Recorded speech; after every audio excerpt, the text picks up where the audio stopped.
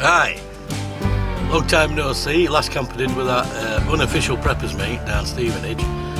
I'm now out in the Peak District uh, with the Rat Pack lads, Grisly D, and some uh, some Camp Basher lads as well. Camp Bazzer, sorry, Camp Basher, Camp Bazzer. A few of them knocking about. Um, it's going to be nice today and tomorrow morning and into afternoon, but I think tea time tomorrow is going to absolutely waz it down. Um, I'm trying something different this time. Dutch Army tent, which Mac Tightwad gave me yonks ago. I've used it before, but only in the summer. But with the threat of rain, I've got it out and I'm going to put, uh, well I have done already, I've put a British Army basher over the top of it. So that'll stop the water getting in if it does rain tonight by some chance, but hopefully not. It's quite a big turnout. I think it's going to be a good camp. Five quid a night. Brilliant. Near the Yondermann pub. Let's, uh, let's show you around a bit. Right. New car from last time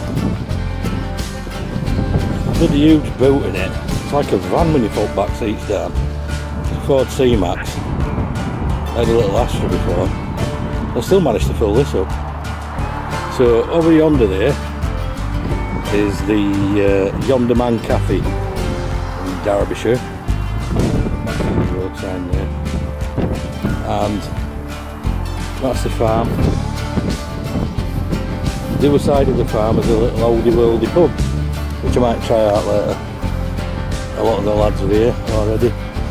Quite a few of them are going to come. In that corner where all the vans are, they're like, it's like the old Wild West. They're round in, you know, wagons in a circle. I think Red Indians are coming to summer.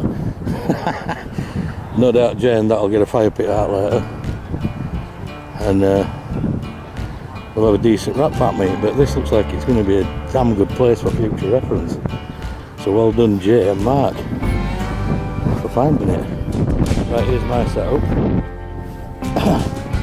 Dutch Army tent with the British Army basher over the top of it for security. Because we know these things leak, don't we? Got the solar panel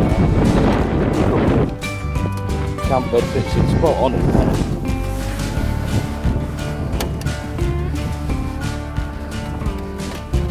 shame about the waterproofing with these Dutch Army tents. Anyway, bring you back when something interesting happens. Here's Steve Frog Moon, doing for a walk look, and Angus. Right, catch you back later.